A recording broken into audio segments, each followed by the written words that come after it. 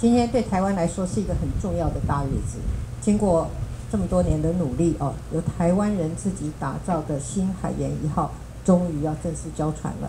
我们把新的团队命名为新海盐，新代表的是台湾人勇于创新的精神，也代表我们即将开启探索海洋、研究海洋的新的篇章。海代表的是台湾人对海洋的热爱。随着海洋研究的进行，我们对于海洋的认识也会更全面。盐则是代表台湾人研究的实力。这次的新海盐团队，从学界开出需求进行规划，到我们台船的负责设计跟建造，都是台湾造船史上的里程碑，也展现出产业界跟学术界合作的国船国造的实力。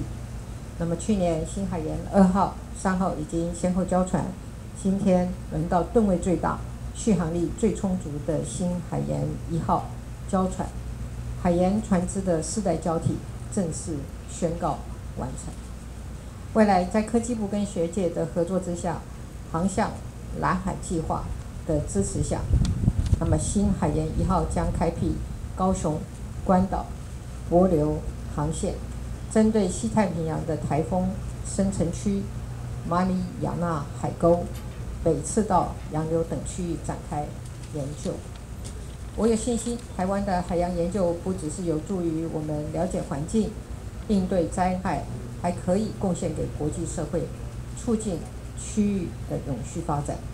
我要谢谢参与团队建造的伙伴，包括我们台船公司的员工、